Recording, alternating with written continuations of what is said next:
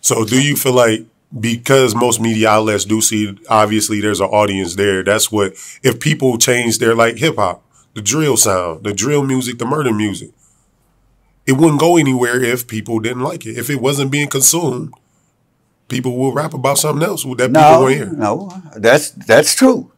But I think if people was gonna rap about something else, it'd be where it come from the change of the environment, Got you, got you. not from where they went and changed their lyrics and then got to go back to the same shit they stopped talking about. That doesn't make no sense. But I bet you if you create them a job and give them opportunities to where they can tell these stories, then the rap gonna change. But as it stands now, the rap ain't gonna never change when they're in the conditions unless the conditions change to which they rapping about. So I agree. So are you saying? So pretty much you're saying like rap is just a symptom of the real problem. The topic is a symptom of the real. Okay, for sure. So like when you see Charleston, because some things he can say, it it can See, make a lot of things he say make sense, but they're offset where you can't play both sides of the fence, young man. Nobody has succeeded where they hide behind the mic out of sight, then come back and run the streets. You're playing Russian roulette. Mm-hmm.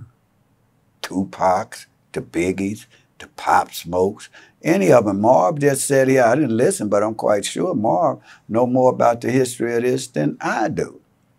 But I know this. In the game they playing, that's a tough game to play. Where you got to look over your shoulder each and every day. And for what?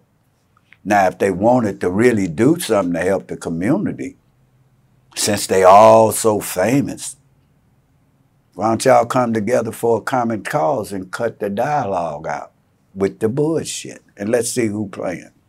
See, they they minor leaguers in this game. Y'all looking at the bullshit. That's comedy. But that's not for everybody. But when you want to come to talk about the public safety and changing a community, they voices won't have nan impact on it. None whatsoever. Is it? Do you want? Do you feel like Charleston White needs to be out the way? He's No, Charleston White should have stuck for what he was, a clown and a comedian. But he could never do that. You think he can post up where all around the world Charleston White gonna be standing at this show doing a show? That ain't happening. Now they might get away with that shit here because this is not really no gang culture here. Because the shit he don't did, particularly when we get to these transcripts to where he said he didn't snitch, and we got him right here. And in fact, why don't you ask uh, uh, uh, Say Cheese, Dewberry, and Charleston White? Let's go and have a debate where we come on there and we talk about what we doing, what you don't did, and where you going. They ain't gonna match up. you want to pull some receipts? Uh, We gonna pull their resumes. Okay. Yeah.